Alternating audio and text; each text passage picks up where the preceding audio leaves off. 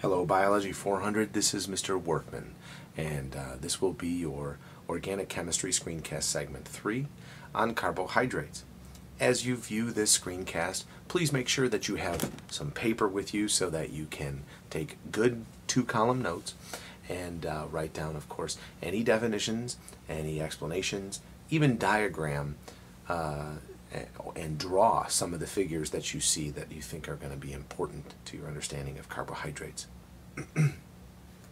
let's get to it. So let's uh, talk about how you can recognize what a carbohydrate is.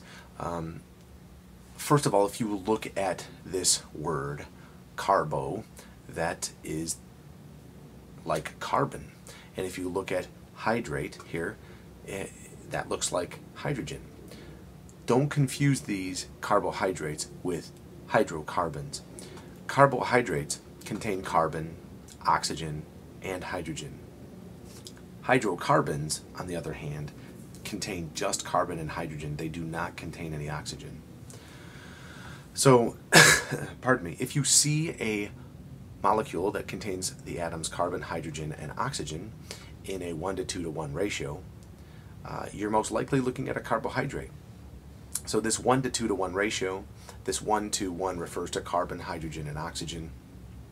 In other words, there are twice as many hydrogens as there are carbons. There are also twice as many hydrogens as there are oxygens, and the number of carbons and the number of oxygens will be just about equal. The building blocks of carbohydrates, the monomers, the single units that is, are referred to as monosaccharides. And if you link two monosaccharides together, by way of dehydration synthesis or the formation of water, condensation synthesis, you get what we call a disaccharide, and if that process happens over and over again, we get what we call polysaccharides. Monosaccharides are simply referred to as sugars in everyday language, sometimes called simple sugars. Disaccharides can be fairly classified as simple sugars as well, whereas polysaccharides are referred to in the nutritional uh, world as complex carbohydrates or complex sugars. When you look at the formula of any sugar, the general empirical formula is going to be CH2O, and how often that repeats depends on how big of a carbohydrate we're talking about. This is just another way to show that there's going to be twice as many hydrogens as there are carbons. So let's look at this hydrocarbon. Hexane, this word, uh, this prefix on this word hex means six. Can you see here that there's six carbons lined up in a chain and they're surrounded by enough hydrogen. It's fully saturated with hydrogen so that each carbon is making four bonds as required by its tetravalency. In contrast, if you look over here, these chains of six carbons are a little bit more interesting. Do you see why? There's some oxygens. There's a C double bond O here. This one is another chain of six carbons. Here's a C double bond O. And I want to let you know that this diagram is actually inaccurate. This hydrogen should not be here. That hydrogen would indicate that this carbon is making five bonds. So this hydrogen is actually an error in this diagram. Take a look at the difference between these two molecules, glucose and fructose. You can see here that this is called an aldose sugar and this is called a ketose sugar. but if you count up the total number of carbons and hydrogens and oxygens, they have the same number of carbons, they have the same number of hydrogens, and the same number of oxygens. The way that they differ is in how those carbons and hydrogens and oxygens are put together, the way that they're arranged. And you can see here that the C double bond O in glucose is at the end of the chain of carbons, so it's on the last carbon. And as a result, that's an aldehyde, so we call glucose an aldose sugar. You might start to note that many sugars are named with the ending OSE. Okay, so glucose, OSE, fructose, OSE. Fructose is a ketose sugar because its carbonyl, its C double bond O, is not at the end of the chain of carbons, it's somewhere in the middle of the chain of carbons. Monosaccharides, some characteristics of sugar, are, you know, the fact that they um, have polar bonds in them, polar covalent bonds. If you remember your electronegativity bonding rules, oxygen bonded to hydrogen is a moderate difference in electronegativity. Uh, C, uh, carbon bonded to oxygen, especially a double bond, uh, that's going to be a polar bond because there's a moderate difference in electronegativity there. There's OH bonds and there's CO bonds all over this molecule, which means because there are lots of polar bonds in this molecule, it'll interact with water, which is a, also a polar molecule. So because sugars will interact with water, they are literally water loving, they're called hydrophilic because of their polar bonds that they contain.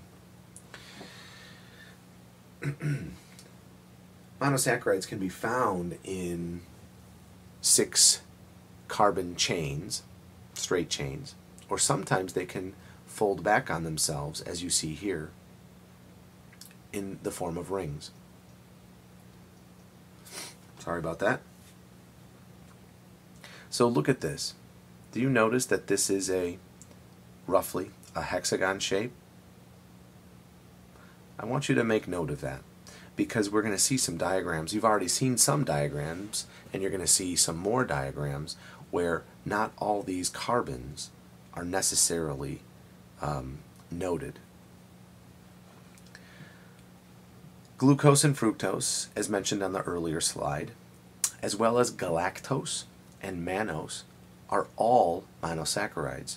And they all have six carbons, they all have 12 hydrogens, and they all have six oxygens. So let's think about why would there be four different names for molecules that all have this same formula with six carbons, 12 hydrogens, and six oxygens? Well, the answer is that these molecules are all isomers of one another.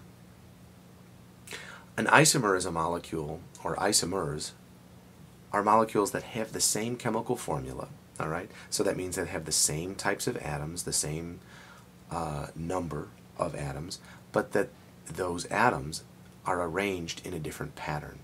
So same pieces, just built differently. So picture me giving you 24 Legos and me giving somebody else 24 Legos, and all those same Legos were used, but built up and connected differently, you know, that's a fair way to think about what an isomer is. Here's uh, glucose and here's fructose. And um, I do want to let you know that fructose is named for fruit sugars. We find fructose a lot in fruit sugars. And fructose can be commonly linked to glucose to form what we call common table sugar, which is sucrose, right? The stuff that you actually sprinkle out onto your Wheaties to make them taste better. Uh, the stuff that you know donuts and really high sugar content candy has a ton of uh, is sucrose. Sucrose, of course, is what we would refer to as a disaccharide. As stated before, monosaccharides and disaccharides are fairly classified as simple sugars. Do you recall what the formula is for a monosaccharide? That's right, it's C6 H12O6. So when you link two monosaccharides together, you'd think that there would be 2 times 6 carbons, which is 12, 2 times 12 hydrogens, which is 24, and 2 times 6 oxygens, which is 12. So let's think about why this formula for sucrose is C12H22O11. Well, you got to take out two hydrogens and you got to take out one oxygen because when these are linked together, water is made. So if you add up the C6H12O6 and the C6H12O6 and you take away two H's and one O, you get C12H22O11. This bond right here between the first carbon of this glucose and the second carbon of this fructose is referred to as a glycosidic linkage. All right, there's that term, glycosidic linkage. It's a really strong covalent bond that keeps this monosaccharide linked to this monosaccharide. Taking that same concept further, then, we have what we call polysaccharides. These, of course, are going to be the large, more complex carbohydrates. So if you think of complex carbohydrates or complex sugars, as is stated in the, nutri- in the nutritional language, those are going to be the big, big, big sugar molecules. Lots and lots and lots and lots of monosaccharides, maybe thousands of monosaccharides. The primary purpose, of course, of the monosaccharides and the disaccharides are going to be energy transfer and energy storage. You eat sugar, you get lots of energy very rapidly, but you might crash. I don't know if you've ever heard of the sugar crash. So if you eat or drink a high sugar content, a simple sugar content um, food or drink, you might feel energetic for a few minutes or maybe an hour or so, and then all of a sudden, a couple hours later, you feel really tired and uh, maybe even lousy again. So, so sometimes athletes will carbo load. Maybe you've heard of carbo loading. You eat pasta or bread. Um, what you're doing when you're carbo loading, you're eating lots of complex carbohydrates. Namely, you're eating lots of starch. All right? So you're getting lots of sugar, complex polysaccharide sugars, from plant materials. And your body has to work a little bit, and it takes a little bit of time to actually break down this sugar because it's such a big molecule.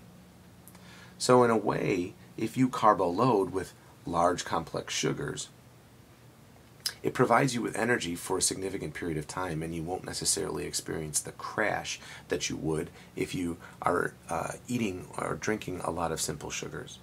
The other primary function or purpose of large polysaccharide molecules, of course, is structural in nature. So these are materials that are used to build cells or build tissues that cells will build up themselves. the energy storage polysaccharides. Let's make sure we write this down now.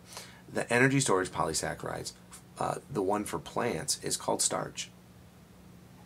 This is a photograph uh, using a microscope, right? So we call it a photo uh, micrograph. Um, is showing you amyloplasts, which are starch grains found within the cell of a plant. This is a photomicrograph or uh, a microscope, a microscope photograph, a micrograph of animal cells, and there's been a stain used here to highlight the glycogen material in red. So starch is the energy storage polysaccharide in plants. Glycogen is the energy storage polysaccharide in animals. Lactose is another disaccharide that you might have heard of. And if you think of the word lactate, that's the process of making milk. And um, it's sort of an odd thing to think about that humans are the only mammals that drink uh, other mammals' milks. Um, and, you know, we drink a lot of cow's milk because the dairy industry tells us it's good for us. But actually, for some of us, it's really not because we don't have the enzyme that breaks down this disaccharide. Not all of us do anyway. Not all of us have the enzyme that breaks down this disaccharide that's found in dairy material like milk or cheese. Starch, of course, is a polysaccharide. If you eat potatoes, french fries, chips, pasta, bread, those foods are loaded with starch. If you're a meat eater, uh, if you're a carnivore sometimes, um, you might eat steak or hamburger or chicken or pork chops or something like that, depending on what you like to eat.